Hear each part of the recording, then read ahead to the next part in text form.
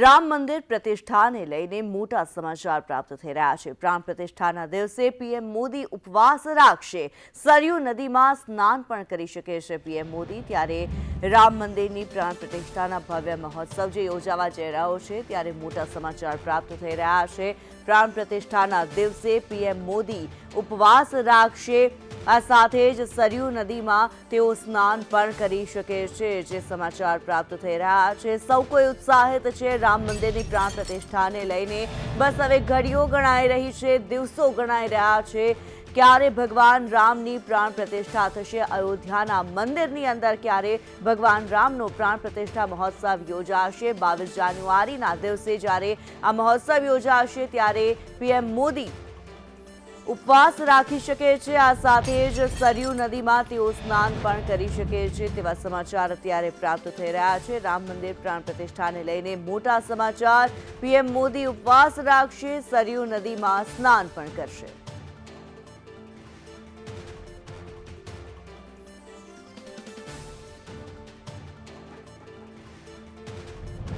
જે પ્રમાણે ખૂબ જ મોટા સમાચાર અત્યારે પ્રાપ્ત થઈ રહ્યા છે રામ મંદિર પ્રાણ પ્રતિષ્ઠાને લઈને આ સમાચાર પ્રાણ પ્રતિષ્ઠાના દિવસે પીએમ મોદી ઉપવાસ રાખશે આ સાથે જ સરયુ નદીમાં તેઓ સ્નાન પણ કરી શકે છે પીએમ મોદી જ્યારે પ્રાણ પ્રતિષ્ઠાની જે વિધિની અંદર સામેલ થશે ત્યારે પીએમ મોદી આખા દિવસનો ઉપવાસ કરશે આ સાથે જ તેઓ સરયુ નદીમાં સ્નાન પણ કરશે પ્રાણ પ્રતિષ્ઠાના દિવસને લઈને સૌ કોઈ આતુર છે સૌ કોઈ રાહ જોઈ રહ્યા છે ભગવાન રામના મંદિરની અંદર પ્રાણ પ્રતિષ્ઠાને લઈને ત્યારે પીએમ મોદી જ્યારે અયોધ્યાના મહેમાન બનવાના છે અયોધ્યામાં પ્રાણ પ્રતિષ્ઠા મહોત્સવની અંદર પીએમ મોદી જ્યારે ભાગ લેવાના છે ત્યારે પ્રાણ પ્રતિષ્ઠાને લઈને પીએમ મોદી ઉપવાસ પણ રાખશે અને સરયુ નદીની અંદર સ્નાન પણ કરશે અયોધ્યાની પાસેથી સરયુ નદી જે પસાર થાય છે આ સરયુ નદીમાં સ્નાન કરી ધન્યતાનો અનુભવ કરશે પીએમ મોદી ઉપરાંત પ્રાણ પ્રતિષ્ઠાની વિધિ સંપન્ન કરવા માટે થઈને તેઓ ઉપવાસ પણ રાખશે આઉટપુટ હેડ મનીષ પુરોહિત જોડાયેલા છે મનીષ ખૂબ જ મોટા સમાચાર કહી શકાય પ્રાણ પ્રતિષ્ઠામાં જ્યારે પીએમ મોદી સામેલ થવા જઈ રહ્યા છે ત્યારે આ દિવસે તેઓ ઉપવાસ પણ રાખવાના છે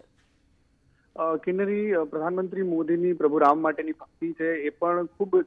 ખૂબ જ જૂની છે કારણ કે જ્યારે ગુજરાતમાંથી આપણને બધાને ખબર છે કે જ્યારે ગુજરાતમાંથી સોમનાથથી જ્યારે રથ નીકળ્યો હતો જ્યારે લાલકૃષ્ણ અડવાણી રથ લઈને નીકળ્યા હતા એ રથ જ્યારે અયોધ્યા પહોંચ્યો હતો તો એની એના આખા આખા કાર્યક્રમમાં પ્રધાનમંત્રી મોદી જે તે વખતે ભારતીય જનતા પાર્ટીના કાર્યકર્તાના તौर પર એ બહુ સક્રિય રહ્યા હતા પરંતુ આ બધાની વચ્ચે જ્યારે પ્રધાનમંત્રી મોદી અયોધ્યા જઈ રહ્યા છે અને મુખ્ય યજમાન હશે તો એવું માનવામાં આવે છે આપણી ભારતીય સંસ્કૃતિ સંસ્કૃતિના શાસ્ત્રીય વિધિ પરંપરા મુજબ યજમાન જે હોય છે એમને એ દિવસનો ઉપવાસ કરવો જરૂરી હોય છે અને એ ધાર્મિક જે અનુષ્ઠાન કરતા હોય એમને ઉપવાસ કરવાનો આવે છે અને આ જ કારણ આ જ કારણ છે કે પ્રધાનમંત્રી મોદી બાવીસ તારીખે ઉપવાસ રાખી શકે છે આ ઉપરાંત બીજી વાત એ પણ છે કે સરયુ નદીમાં પણ પ્રધાનમંત્રી મોદી સ્નાન કરી શકે છે એવા પણ સમાચારો સામે આવી રહ્યા છે અને આ પહેલા પણ પ્રધાનમંત્રી મોદી બે હજાર એકવીસમાં જ્યારે કાશી વિશ્વનાથ કોરિડોર લોકાર્પણનો કાર્યક્રમ હતો એ વખતે ગંગા નદીમાં પણ સ્નાન કર્યું હતું અને પૂજાપાઠ પણ કર્યું હતું એટલે એ જ પ્રકારે આમાં પણ એવું માનવામાં આવી રહ્યું છે કે પ્રધાનમંત્રી મોદી સરયુ નદીમાં સ્નાન પણ કરી શકે છે અને એ દિવસે એમનો ઉપવાસ પણ રાખી શકે છે किन्नरी जी धन्यवाद मनीष